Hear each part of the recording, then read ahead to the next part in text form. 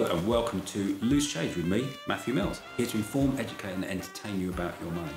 And we've been doing a series of these looking at the kind of indices and institutions you might look at to get information to help you look forward to where the world is going economically and how you might manage your investments. Um, now, one of the indices that people often look at is at the end of the news, they show you what the FTSE has been doing. Um, an index which is probably far more important to have a look at is the bond index. This is where companies and institutions and governments, in fact, loan money to each other. It's far bigger than the stock market and far more influential. And this is the bit where the money comes from to buy and sell sh uh, shares anyway.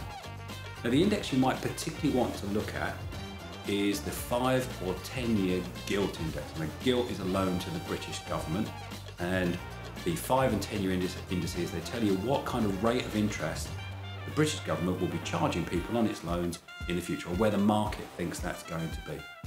Why is that important? Well, first and foremost is the British government is the only government in the world which has never defaulted on a debt.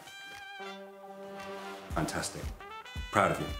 Um, uh, the other thing is that because they've never defaulted on a debt, this is what's called the risk-free rate of return.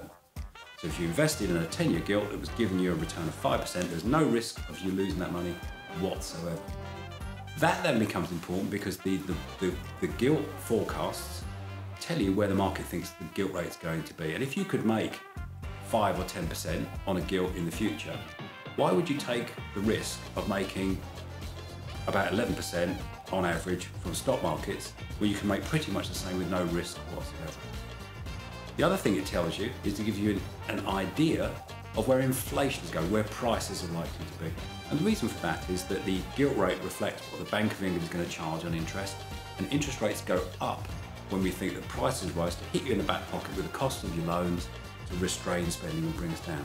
So if the gilt rate goes up, we anticipate there's going to be inflation, prices will be going up, uh, um, uh, and uh, the Bank of England is likely to raise interest rates.